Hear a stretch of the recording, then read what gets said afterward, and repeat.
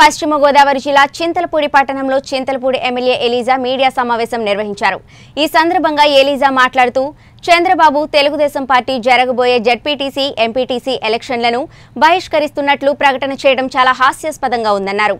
మొన్నటి వరకు ఎలక్షన్లు జరిపించమని కోర్టు చుట్టూ తిరిగి ఇప్పుడు ఎలక్షన్ కమిషన్ ఎలక్షన్ నిర్వహిస్తుంటే జగన్ను ఎదుర్కొనే దమ్ము లేక ఎన్నికలను బహిష్కరిస్తున్నట్లు కొత్త రకం డ్రామాకు తెరలేపారని దమ్ముంటే ఎన్నికల్లో పాల్గొని ప్రజల్లో వారికున్న పట్టు నిరూపించుకోవాలని సవాల్ విసిరారు.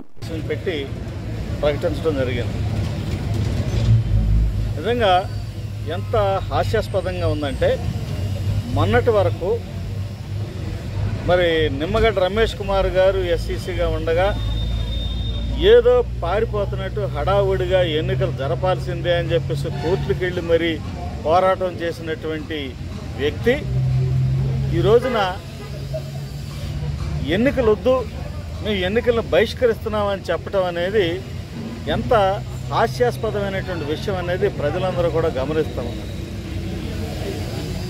మన గౌరవ ముఖ్యమంత్రి వర్యులు శ్రీ వైఎస్ జగన్మోహన్ రెడ్డి గారి నేతృత్వంలో పంచాయతీ ఎన్నికలు కానీ మున్సిపాలిటీ ఎన్నికలు కానీ మరి అద్భుతమైనటువంటి విజయాలు సాధించినటువంటి నేపథ్యంలో ఏదైతే పంచాయతీ ఎన్నికల్లో ఎనభై రెండు శాతం మరి మున్సిపాలిటీల్లో అయితే సాధారణంగా ఇప్పటివరకు ఉన్న నానుడు ఏంటంటే అర్బన్ ఏరియాస్లో టీడీపీ బలంగా ఉందనేది ఒక అపోహ.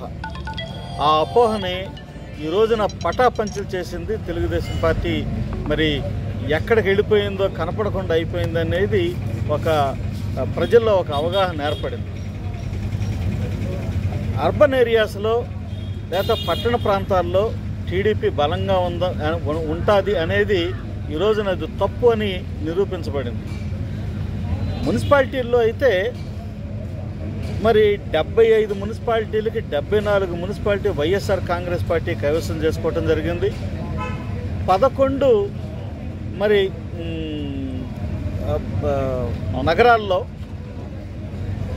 పదకొండుకు పదకొండు గెలవటం జరిగింది. అంటే నూటికి నూరు శాతం ఫలితాలను సాధించినటువంటి పార్టీ వైఎస్ఆర్ కాంగ్రెస్ పార్టీ. జగన్మోహన్ రెడ్డి గారి యొక్క నాయకత్వంలో మరి ఈ పార్టీ ఇంత అద్భుతమైనటువంటి విజయాలు సాధిస్తూ ఉంటే ప్రజలందరూ కూడా